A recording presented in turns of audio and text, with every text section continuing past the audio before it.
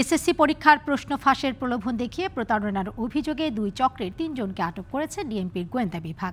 চক্রটি ফেসবুক মেসেঞ্জারে গ্রুপ করে প্রায় চার হাজার সাতশো মানুষের সাথে যোগাযোগ করে। ডিএমপির গোয়েন্দা বিভাগের প্রধান কে এম হাফিজ আক্তার জানিয়েছেন, চক্রটি থেকে অভিভাবক এবং শিক্ষার্থীরা প্রশ্ন নেয়ার চেষ্টা করছিল।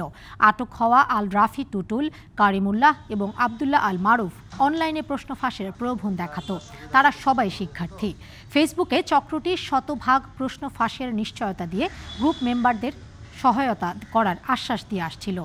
আর এই চক্রটির পরিচালিত গ্রুপের মেম্বার হতে হলে বিকাশ বা রকেটে পাঁচশো থেকে পাঁচ হাজার টাকা চার্জ করা হতো বলে জানান কর্মকর্তারা। অভিভাবক, ছাত্ররা এই সমস্ত লিঙ্ক খুঁজে, প্রশ্ন খোঁজার পায়তারা করছে, কেনা, কেনার পায়তারা করছে। আমরা কিন্তু এখন থেকে তাদের বিরুদ্ধে নজর দায়িত্বে রাখব এবং প্রয়োজনে তাদের বিরুদ্ধে কঠোর অ্যাকশনে যাব। এই গুজব চক্র যারা আছে, তাদের বিরুদ্ধে কিন্তু আমরা কঠোর অ্যাকশনে যাব।